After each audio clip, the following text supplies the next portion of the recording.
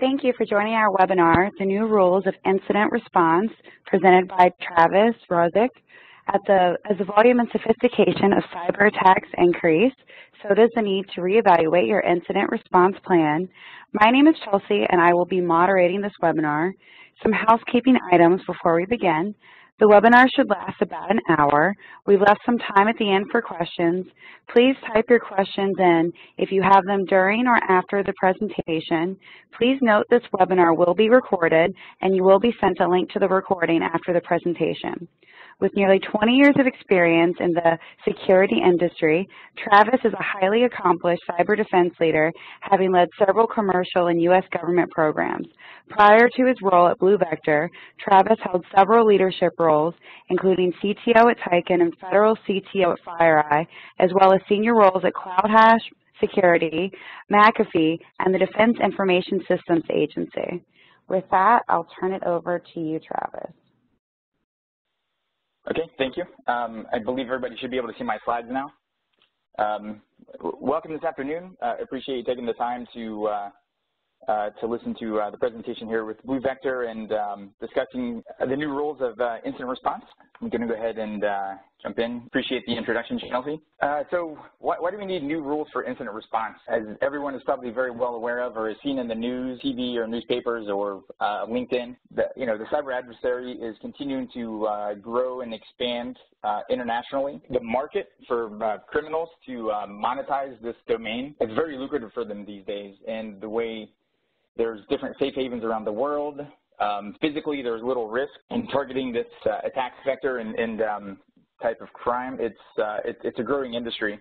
Uh, and it's definitely not slowing down anytime soon. So here's some metrics and some uh, references around the rapid increase in different types of threats. Ransomware obviously is, uh, has been in the news actually most recently as today with uh, some of the impacts that's going on with uh, in Europe, uh, especially in Ukraine. But it, it's, a, it's a great way for the adversaries to monetize malware and basically holding you hostage uh, with ransomware and your company's systems and or critical files uh, and basically halting your business.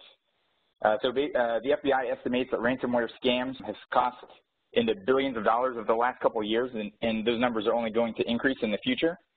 So th this is starting to get a lot more attention, and it's actually impacting home users as well. So it, uh, it's a growing problem, pretty much an epidemic, I, I, would I would say, and you know, not understanding the threat, not understanding how to respond to threat, and the different types of threats that are out there, and the impacts to your organization, your business, and companies is only going to make the, these costs continue to go up exponentially, and or in many cases uh, cause a lack of uh, loss of life, or potentially cause your businesses to close due to un inability to uh, survive these types of attacks. Uh, you know, having a uh, robust incident response plan, knowing how to, to uh, minimize the impacts of, of a breach uh, when and if they occur is critical to uh, minimizing impact and ensuring that your day-to-day -day operations and your your business and livelihood continues. As we all well are aware of key challenges uh, security teams face today. Most security teams are inundated with uh, threat events, just detection events from intrusion detection systems, intrusion prevention systems, endpoint logs,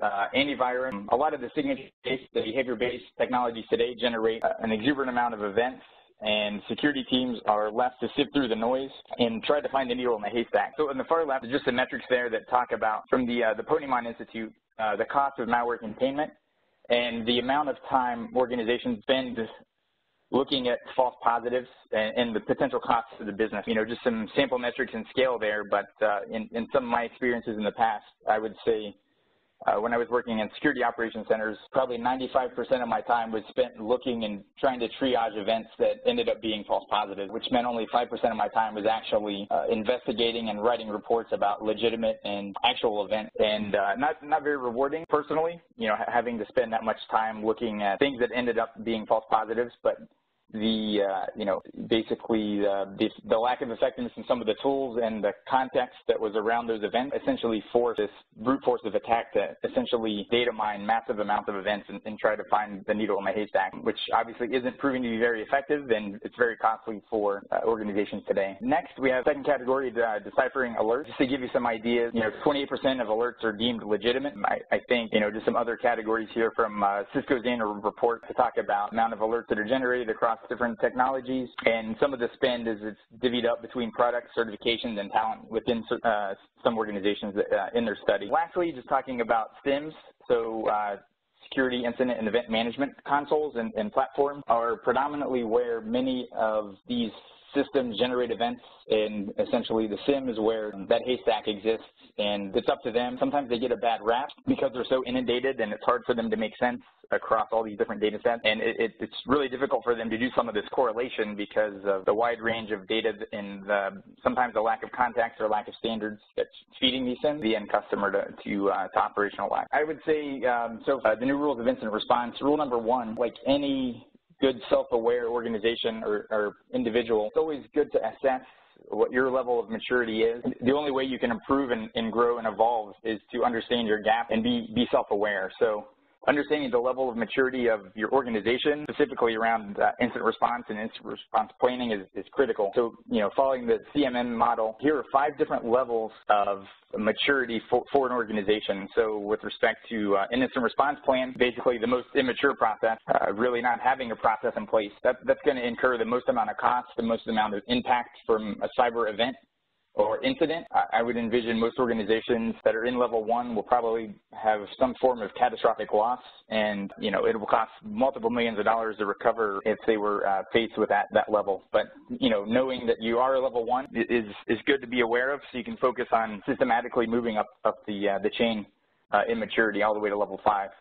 Uh, level two, you know, organizations at least have some level of process documented so that, you know, some of the incident response steps are repeatable. That's, uh, that's definitely a critical step. I think, uh, so uh, level three is uh, further defining that process, uh, those processes are in place and making it part of the standard business process. So that's where you get into integrating the incident response plan with other business operations within your, your enterprise and making sure that everything is synced uh, as you respond and mitigate and, no and, notify the different organizations and understanding the impact. And a managed level, uh, obviously to have success and have a way to measure your ability to do incident response properly, uh, you, you want to have a list of metrics that are critical to your organization, uh, and you want to have a way to track these over time so you can make enhancements and improvements across your organization as you respond to incidents uh, over, over a period of time.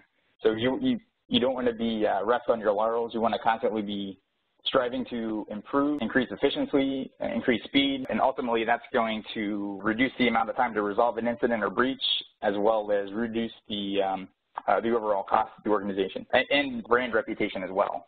So if you look at organizations like uh, Target, Home Depot, Sony, for example, they, have had a lot of uh, issues with brand recognition as a result of some of these major breaches. And lastly, uh, the optimized approach. Uh, th this actually gets into where you leverage those metrics and you optimize the whole incident response process and you focus and spend cycle, cycles to invest in improving those uh, those areas that need the most improvement. And, and that's the most mature process and organization that should strive to be in the optimized state with respect to incident response planning. So rule number two, dusty IR plans are a hacker's friend.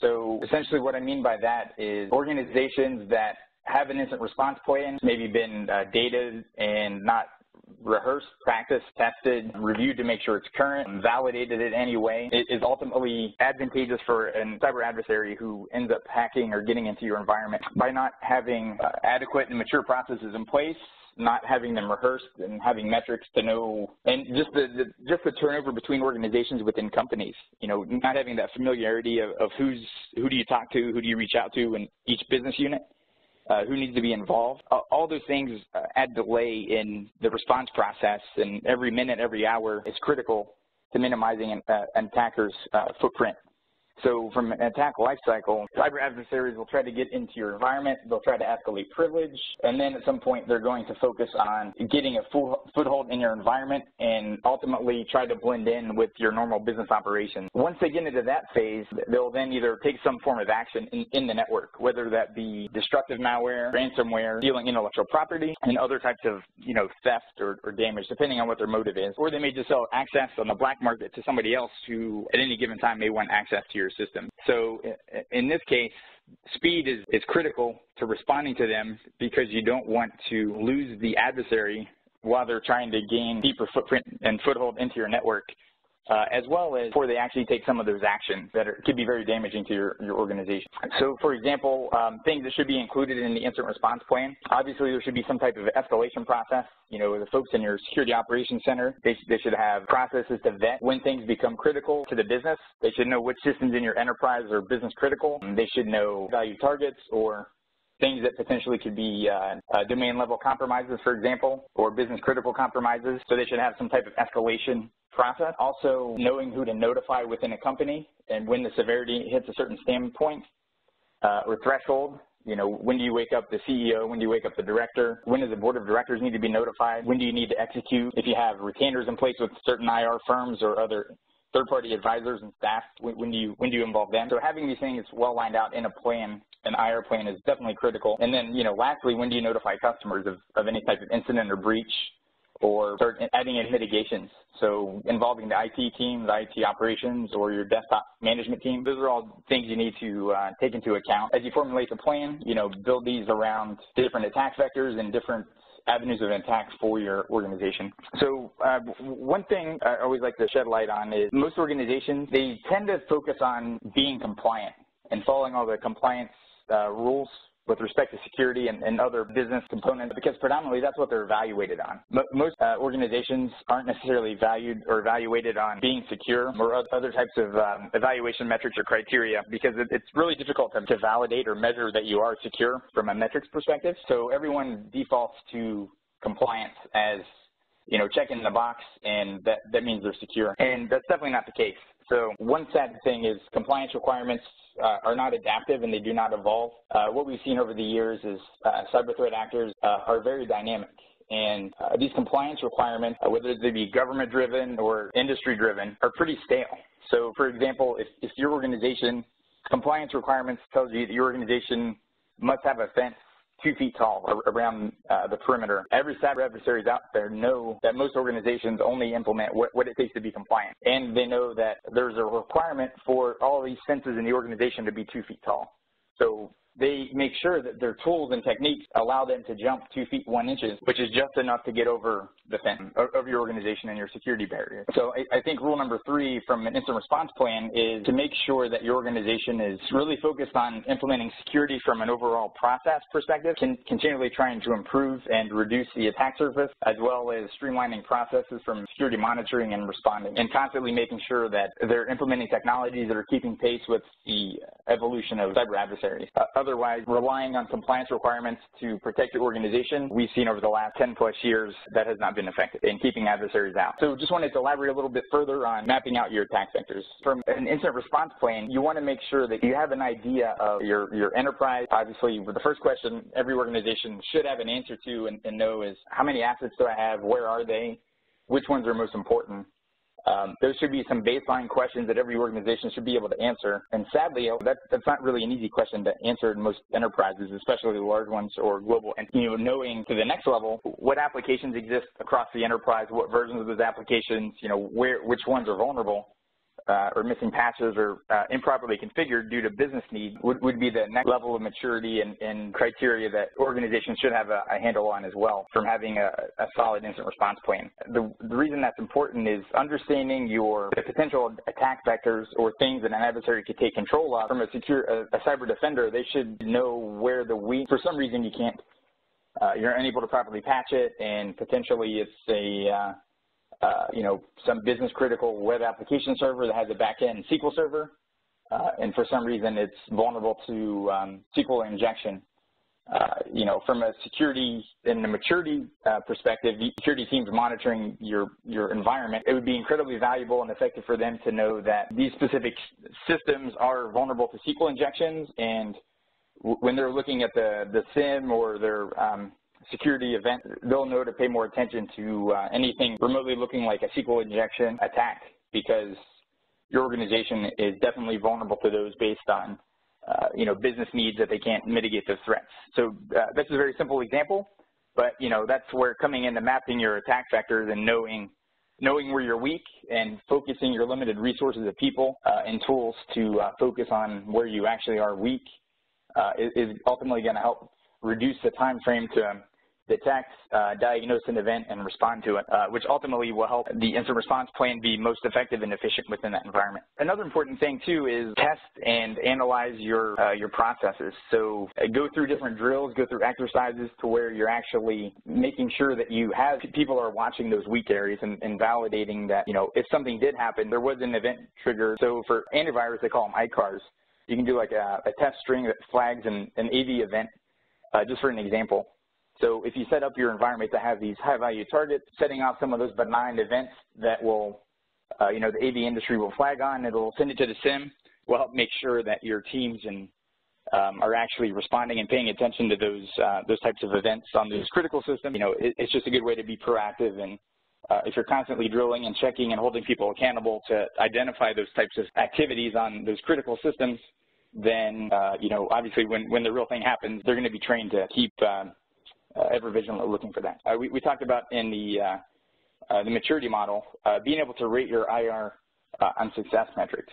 So there's definitely several ways and metrics to collect. Some of these are going to be customized for each organization that's critical to businesses. It may have to do with business outage, business operations, uh, any kind of downtime, maybe the amount of notifications that have to occur internal, maybe notifications with uh, third-party incident response team, maybe notifications to customers. Those are all sample metrics that, that may be valuable for your organization.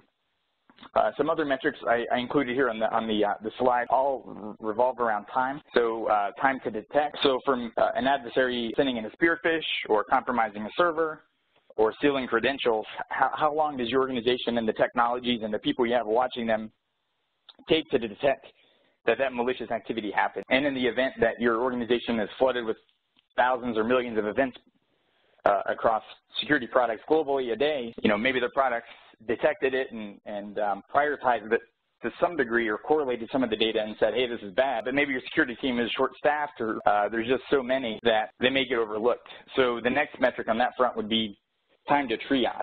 So in the time that the detection actually occurred to the time your organization is actually able to say, hey, this is really a bad or major significant event that we must take it to the next level of response, that's what the time to triage is. Basically, you know, think of an emergency room visit somebody comes in on the ambulance, the ER department has to do triage to figure out what type of care, what quality of care, and what time frame of care uh, must must happen. So I, I, think in most organizations, that's probably the biggest challenge and struggle is that triage component. How do they filter through all the noise? How do they find the needle in the haystack and, and validate that that is, you know, something critical? Uh, the, the next phase is time to coordinate.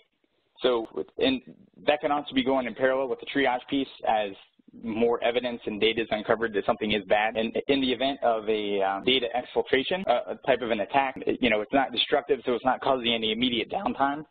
So coordinating at that, that level isn't as critical as opposed to uh, uh some type of destructive or you know destructive malware or ransomware when where it's constantly spreading and causing potentially permanent damage. Obviously, the time to coordinate at that phase is uh, even more critical. Talking to the different components of your organization, how do you get authorities across which business unit to take action?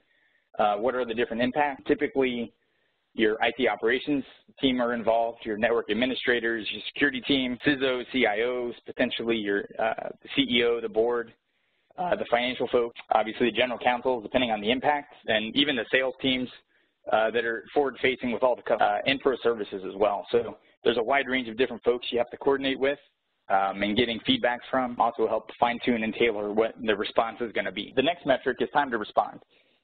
And this one is always a little bit tricky because it's, it's obviously very dependent on the organization and the situation uh, at hand. So sometimes the knee-jerk reaction is just to unplug a machine that you think is compromised, and then the uh, incident has been remediated and, and it's over. So that's not always the case.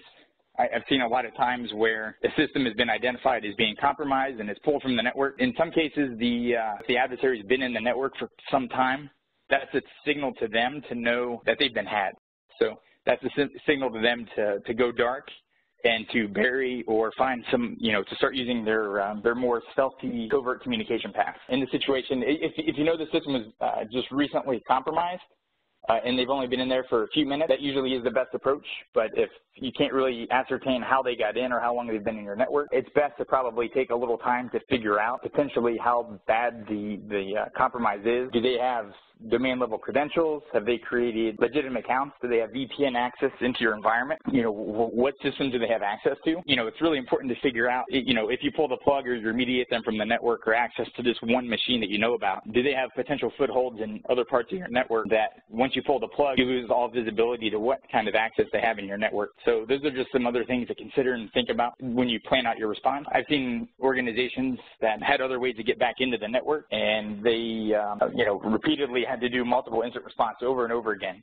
Uh, because they actually didn't do a very well coordinated type of response or a very um, comprehensive uh, review looking for how bad was the compromise. And ultimately that caused tremendous amounts of financial impact and burned out their security and IT teams and, you know, just wasn't good for business. Rule number six, so uh, I've uh, mentioned this earlier, uh, so faster responses mean less impact and less cost. Obviously, the better your detection efficacy, the better the context uh, and the tools that you, you have deployed in your environment, uh, the better and faster your, your teams can detect and diagnose what's happening in the environment, scoping the uh, impact of the potential incident, and then obviously as the more mature your incident response plans, uh, the more well-rehearsed and practiced they are, uh, the faster and more comprehensive and complete your response is going to be, thus obviously reducing the cost and the impacts across the organization.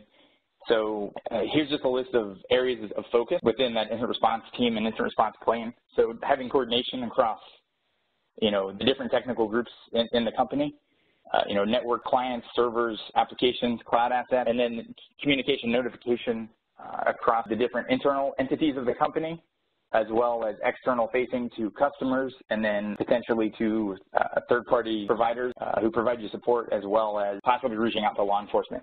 Uh, depending on the scale and the nature of the, uh, the incident. As with any type of incident, um, I, you know, uh, when it comes to cyber incidents and looking at root cause analysis, you know, how, when, and where, and sometimes why are, are always critical, uh, and always, always uh, questions that are asked from, you know, board and board level folks, uh, customers, everyone within the organization. So uh, in order to really answer these questions, it really depends on the amount of data you have, the quality of the data, the distance of the data. Think of some type of airline disaster or some other type of accident uh, where NTSB gets called in within the U.S. government. They, they essentially look and do root cause analysis to figure out, you know, why, where, when, how, uh, you know, what, what, went wrong, what was the root cause of the, uh, the actual incident. In, in, this case, it's a very similar type of approach trying to figure this out within the, uh, the, the, cyber incident. So one thing I always try to do uh, going into an environment is have some level of assessment of their security posture, looking at, if you have an idea of what systems were potentially impacted, you know, looking at some type of a security review on the system, you know, were they implementing uh, security best practices? Were they uh, properly configured, uh, et cetera? So that might give you a breadcrumb to say, hey, this system wasn't properly configured or is missing patches. Uh, that that could be your attack vector, and that might help kind of work backwards and figure out, well, if, if this system was exposed, we know the adversary was on it, you know, there's a good likelihood that this possibly what they, you know, this vulnerability or this misconfiguration is what they actually leveraged to get access to system. Knowing that can help you focus when you go back to look at logs or PCAP data or uh, anything like that, knowing what ports and protocols were potentially used, uh, as well as from a avenue of attack or mapping your terrain, knowing potentially how they got to that point. Uh, and then you can start looking and whittling down the needles in the haystack and start focusing on that potential attack vector and, and potentially find more clues to uh, further your investigation. Uh, and obviously, another thing that I've uh, encountered over the years is, you know, once you've done this type of analysis and identified, you know, the root cause and the attack vectors, uh, you know, was it a, a, breakdown in the people, the process, or the organization? Um, and, and, that's what was compromised uh, and leveraged by the adversary to be successful. Um, making sure that you, uh, from a policy perspective or technical uh, implementation or architecture perspective, whatever that mitigation or uh, the finding is, you go back and make sure and then validate also so address it technically or through policy or whatever the means is. But you have to do some level of validation to make sure that whatever um, mitigation you put in place is actually uh, uh, effective. You know, I, have been in places many times where, uh, you know, they, they thought it was fixed or mitigated, but what, what they put out there was they re-image an old system, an older version of it, and they thought it was fixed and it wasn't fixed. And uh, it was just compromised, you know, a couple weeks later. That's always a good thing to uh, help make sure that once you you clean up the mess and validate that it actually is uh, has been remediated, and then systemically across the organization, making sure that you don't have the same type of problem anywhere else. On the last bullet here, the other aspect to um, why speed is so important uh, when you're uh, conducting an incident response uh, investigation. Uh, the, the, timeliness of these uh, event data and logs within network devices so whether it be DHCP, uh, proxy logs, uh, firewall network uh, router logs, you want to make sure that as you're tracing these breadcrumbs and walking backwards and trying to find the clues, uh, you do it in a timely manner before these systems are overwritten. So network devices generate massive amounts of data and logs, and uh, especially in large environments or large pipe, uh, they're typically overwritten pretty quick depending on the organization. So if you're responding within, you know, minutes or hours or, or even a couple days, uh, it's a very good likelihood all that data is going to be there. And that data is very rich in trying to help identify the root cause of what happened. If you get to the point where, so based on one of the, uh, the latest Mandiant M-Trends report, you know, around six months time frame between a breach to uh, a breach detection. And at that point in time, most of this data is not going to be uh, accessible. So conducting the incident response, trying to do the investigation and figure out what happened, most of that data is overwritten or doesn't exist. Or the adversary has gone in and overwritten those logs as well. They try to cover their track. The rule number eight, and this one is probably the most painful or tricky or confusing one, uh, re reporting the breach to authorities. Each state has their own breach notification laws and processes. Uh, Department of Health and Human Services out of the federal government has their own breach notification laws. So depending on your company, uh, depending on your uh, industry vertical, depending on uh, regulations, obviously depending on what country you're in, there's so many different policies, laws, regulations that determine when and who you notify about breaches. Obviously there's no standards, there, it's, um, and it's changing. Uh, so, you know, it, it's pretty painful to keep up on those things. So um, that's definitely something that should be another, another reason to keep your IR plans current is uh, making sure you're keeping track of these laws and changes to make sure you, you have all your bases covered. But I, I also think that a, a, majority of these have to do with disclosure of PII, and it doesn't really, you know, the breach notification doesn't have to do with the company being compromised or what level of trust or risk there is to that organization or entity. It, it only evolves around uh, medical or PII data being exposed. Over time, that's probably will probably evolve. You know, it, it's trivial for them to have uh, continuous access. The complexity of technology is advanced. You know, there's lots of ways that they can persist. Um, so, you know, e even if they didn't get access to any PII at any specific point in time that they were able to get in your network. You know, it's just a matter of time, most likely, before they would be able to access that kind of data if, if they so chose to. That concludes the, uh, the, the, new steps from uh, incident response plan and um, keys to IR. Uh, I just wanted to spend the next couple minutes and kind of give you a uh, high-level overview of BluVector and possible ways that uh, we can assist in, you know, some of those challenges of attack detection and uh, assisting in the uh, triage process that would help make your incident response plan more efficient and effective. So BluVector is a uh, network security monitoring analytics platform. It leverages, it's been built over the last seven years. We, we've built these machine learning classifiers that don't require signature updates so it's non-signature based detection capabilities that will analyze through static analysis of a file and then based on those characteristics from the static analysis, we'll then apply these machine learning classifiers that we've built over the last seven years and we'll determine if a specific file is uh, malicious or benign with very, uh, very good accuracy, you know, upwards of 99% uh, accuracy. So, uh, you know, whether it be Word document files, PDF, uh, JavaScript, Android application, APK files, we have about 33 classifiers today that are constantly running in the appliance. So as files are coming into your enterprise or through email or web, there, you know, we have 100% com uh, completeness uh, of a review of, of, these files, which is unique in the industry. W within the interface, with this kind of next-gen detection capability, we are providing context around the event automatically. So from, a, from an analyst or a SOC perspective, you know, we'll see these advanced threats coming in uh, or unknown threats that I've never seen before, uh, and then we'll put context about web logs, HTTP logs, DNS logs, pre and post the actual event so it can help do some of the root cause analysis and triage uh, to figure out, you know, how they got in, what happened, what was impacted before uh, and after. And why this is uh, also important is it also from a staffing and, and HR, uh, HR, perspective, it, it, enables analysts who are, you know, not the most senior to be effective. So you get a junior analyst right out of school or college, and uh, you can sit them in front of the console, and, and they can essentially be pretty effective uh, within a couple days. And they can handle some of the more routine type of detections and things that are triggered within our uh, machine learning approach. Then then it can help filter down a lot of the noise of, you know, the tens of thousands or hundreds of thousands of events coming into your environment. It can whittle down to say, hey, these are the top 10 or 15 things that are suspicious or malicious that maybe your more senior analysts need to go uh, take care of and um, you know they can they can better prioritize their time spending on the things that are probably going to impact your organization the most. BlueVector also integrates within the security ecosystem, whether it be endpoints and SIEMs, uh, to help automate some of this workflow. Uh, so here's here's um, a couple case studies, uh, or a case study with some different metrics with a, uh, a large Fortune 100 company, pre and post uh, BlueVector. Uh, so they had an uh, incident response team of five people, and on average they spent about 20 hours uh, reviewing and doing the triage of each incident or event. Based on that metric, it ended up costing them, this is just in person hours, not impact to the business of damage or loss of IP, uh, about $1,800 of um, uh, person hours of time. With leveraging uh, BluVector, they were able to do the same amount of work with one FTE, and they spent about four hours per incident. So um, right there was a 80% reduction in people as well as uh, effectiveness around the uh, amount of time to do the triage uh, and obviously speeding up the response cycle.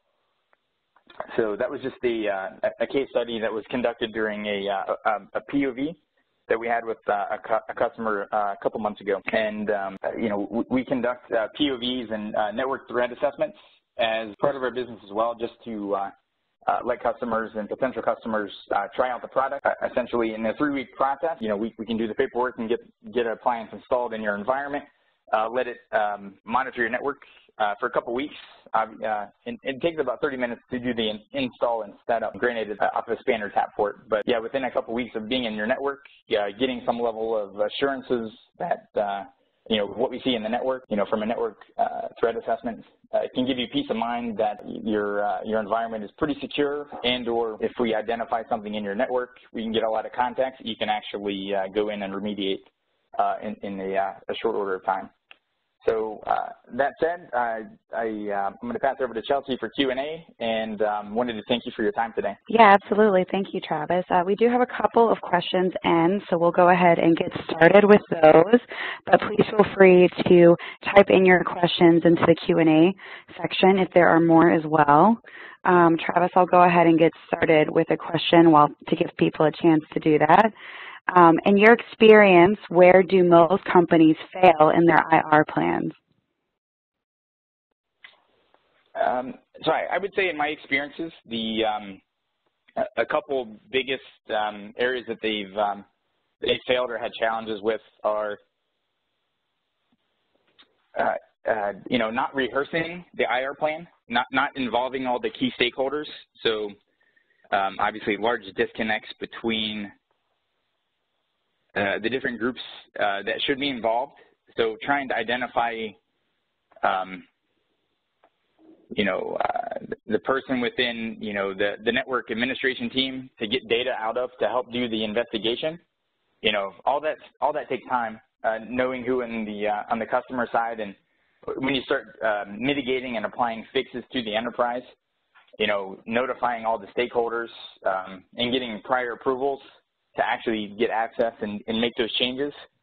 Um, I, have seen a lot of times those things aren't really pre pre coordinated or pre planned or pre authorized. So, um, you know, when uh, something like this happens and uh, you know it uh, it hits the fan, you know, there's it, you know due to due to this these plans and processes not being in place or having prior authorities, you know, most of the time it could take days or weeks to track down the right people, get the right uh, sign-offs to actually start doing the technical work. Um, and, you know, that just uh, extends the amount of time you have to do uh, the incident response by, you know, weeks or months. So I, I would say that's probably the worst um, or the most common uh, uh gap or issue I've seen to date. All right, great, thank you.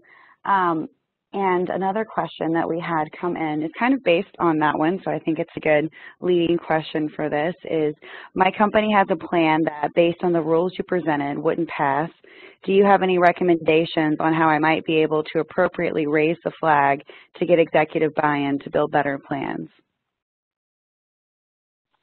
Uh, sure, yeah, that's a good question. I would say one good approach would be to um, uh, you know, personally or individually um, document some type of a tabletop exercise, um, kind of draft an example tabletop with a specific scenario that would be um, critical to that business uh, or industry, and propose um, that tabletop uh, exercise as a, uh, you know, revolving around that incident uh, that could impact the business, and maybe reference something that's currently impacting the world today. So whether it be WannaCry or uh, you know some type of destructive malware, Shamoon, or you know anything that's been in the news recently, um, you know generally has a lot of uh, C-level or board-level uh, attention, uh, and, and, that might be the right um, you know motivating factor to get them to to uh, consider and and and kind of take take that seriously. All right, great, thanks. Um, so another question is, I know that exercising IR plans is important. Who should do that testing? The team that creates it or a third party? And how frequently should that testing be done? So, um, so I'd say the answer depends. So um, uh, depending on the organization, sometimes they have third-party auditors or assessors or, um, you know, whether it be pen testers or red teamers um, you know, it, it, probably carries more weight that, you know, some third party or independent entity is validating or conducting that type of a test um, or showing that there is an issue um, than the people who are actually writing the, uh, the plan or trying to drive it internally. So, um, you know, just trying to find out who the right stakeholders are uh, within the company, who, who, cares and what matters most to them, uh, and then trying to identify um, you know, you know, which third party or which group that, you know, really uh, they lean on or they trust or, um, I guess, you know, uh, drives what their responses are. So, um, you know, if if, uh, if if a third party company comes to do an audit, and and you know that individual always um, jumps on whatever findings are in that audit and uh, ensures the you know that those things are mitigated or fixed, um, that's probably the right entity to bring into the mix to actually get change. Uh, so, you know, I, I, think it's really case dependent on your organization, but trying to find out which which um, which entities um, are actually uh, influential in the organization, and that's who you want to have help champion this process uh, in, in, getting uh, validating those tests because it's going to carry more weight in, in the end. All right, thanks. Um, another question that we had is about um, some recent attacks that have taken place. Um, with a solid IR plan in place, how ready would a company be for finding malware like WannaCry or the new Petya ransomware from today? So, you know, um, it, it, really depends on what technologies they have in place. Um, so, you know, I, I, can only speak to, from BluVector's standpoint. Uh, BluVector has a very, very good detection rate. I believe we uh, have been able to detect all the um, all those latest attacks, uh, even with um, you know year-old uh, classifiers. So even if, if, if, these attacks would have happened six to 12 months ago, uh, we would have had the organization would have had visibility. You know, our customers have had visibility back then. So I think um, you know making sure that organizations have technologies that um, give them a level of confidence that they're going to detect these unknown threats that, where signatures don't exist yet, uh, you know, from an AV perspective, uh, I, I, think is going to help ensure the uh, um, the speed and time to respond is, is as short as possible and the impact is as minimal as possible. Um, you know, there's, and obviously, um, you know, technologies that have generate these types of events, you want to make sure that they uh, um, you know, uh, are, are, getting the, the right attention when they do get flagged. Um, so think about Target from a few years ago. Um, there were events generated uh, within the security team, uh, but it was kind of lost in all the noise of other events, and it was overlooked. Uh, and obviously, uh, Target ended up losing hundreds of millions of dollars as, as a result, um, just because it wasn't prioritized properly. And um, uh, you know, the, the uh, incident response plan didn't account for that. So I think, you know, having the right technologies and then obviously making them a key portion of the uh, incident response plan are, are both critical.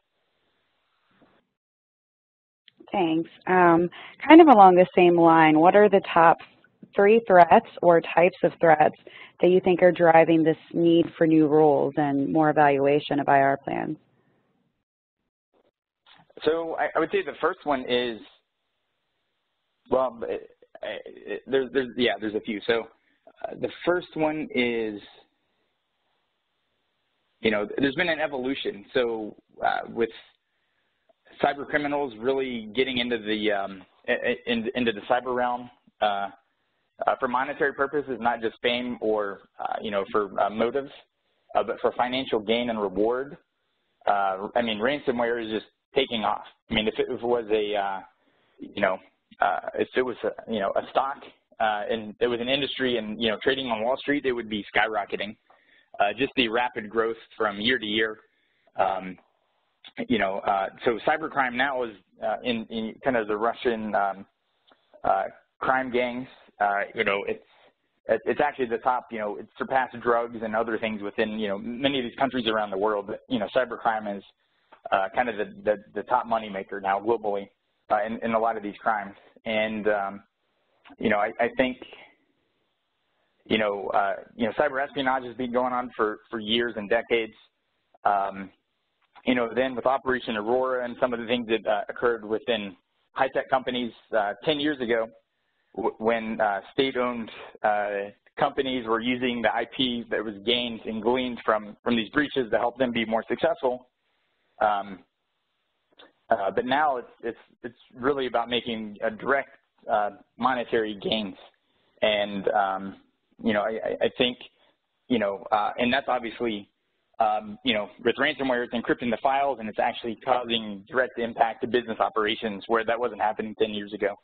So they were just um, taking information and, and, they weren't really causing any impact to your business operations, uh, at least immediately. Longer term, it could cause companies to go out of business uh, by, you know, not making them competitive, but there, there wasn't direct impact to, you know, people possibly losing lives in hospitals or power grids um, or, or things like that. So I would say the monetization aspect of it being criminal and the prevalence as well. So um, the, the other aspect I think that makes it scary is, um, or alarming, uh, is the, uh, the black market for cyber tools, uh, as well as, um, you know, the, uh, the, the leaking of some of the U.S. Uh, government uh, developed capabilities that are, you know, have been released to the wild. So I, I think those two facets make you know, what would typically be script kiddies and pretty easy to detect in organizations, you know, you're basically giving them, you know, military grade weapons, which I, I think is definitely alarming. All right, great, thank you. Um, I think we have time for one last question. See. Um, when you say a BluVector proof of concept takes two weeks, is that to train and learn in the environment? Uh, no, so um, so there, there actually isn't any learning um, required for the uh, machine, uh, the AI machine learning portion of BluVector. Uh, it, it's already coming preloaded with uh, our classifiers that we've already built on the back end uh, over the last seven years. So the, the two weeks for the POV is just actually sitting in your network doing the detections. Um, so, you know, it, it's basically um, monitoring your network for those two weeks and then uh, you know, generating a report after the fact. All right. Well, thank you so much, Travis. Um, and thank you guys for attending the webinar. A recording of this webinar will be sent to you via email shortly. Thank you and have a great rest of your week. Thank you, everybody. Uh, thanks for joining in. I appreciate it, Chelsea. Thanks.